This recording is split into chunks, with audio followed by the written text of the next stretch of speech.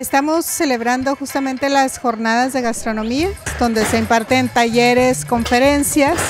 y también hay actividades recreativas, eh, deportivas, como torneo de voleibol que ya se realizó. Y bueno, ahorita justamente estamos viviendo un momento muy emocionante porque también se lleva a cabo el Rally del Conocimiento,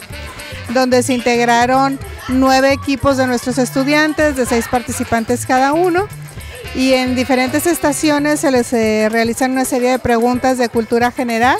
y por supuesto del área de gastronomía y de enología. Eso es lo que estamos celebrando, ya que año con año procuramos eh, que no pase desapercibido este, este momento, este día,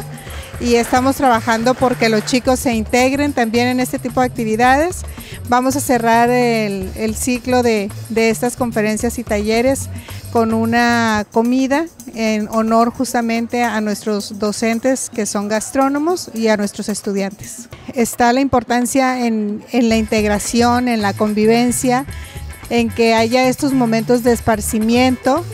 en el que, en el que los jóvenes puedan convivir entre ellos, convivir con sus docentes, generar otros ambientes eh, sin perder el, el, aspecto académico, ya que este, este es un rally de, de conocimiento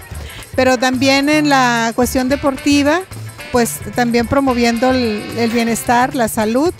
y por supuesto las conferencias y talleres, pues para reforzar todos los conocimientos de los jóvenes. Y gracias a esos gastrónomos tan creativos y con un gran interés por promover nuestra gastronomía y la de otros lugares, es que comemos tan rico día a día.